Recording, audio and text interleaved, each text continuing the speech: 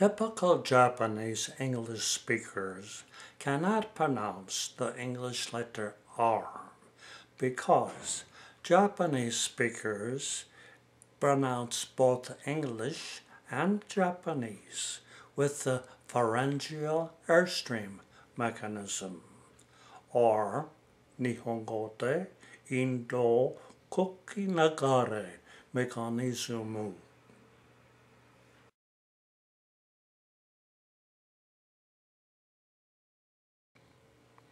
The Japanese language mode of pronunciation or the pharyngeal airstream mechanism produces airflow through the vocal cords.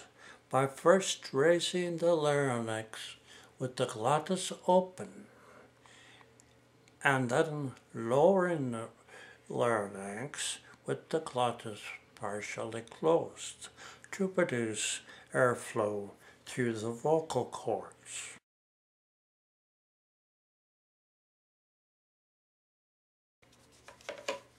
In pronouncing English and European languages, the larynx raises with the glottis partially closed, and the lungs force air through the glottis and the vocal cords.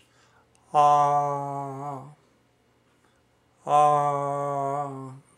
Listen to the difference between a Japanese vowel and an English vowel. Nihongo de ah, ah. Eigo de ah, ah. Eigo de ah. Nihongo de ah. An English sound can be made long. Ah. But a Japanese sound is basically a short sound. Ah. Body air is used when singing hymns in church or when singing opera because such singing requires long sounds. Also, the pronunciation of the letter R requires a long sound, and body air must be used to pronounce the letter R.